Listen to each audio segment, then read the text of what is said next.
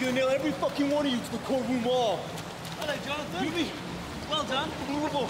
Come on, grab a piece of wood. This is supposed to be a vacation. Oh, do be quiet for a moment, Miles, please. See you later, Jonathan. Bye.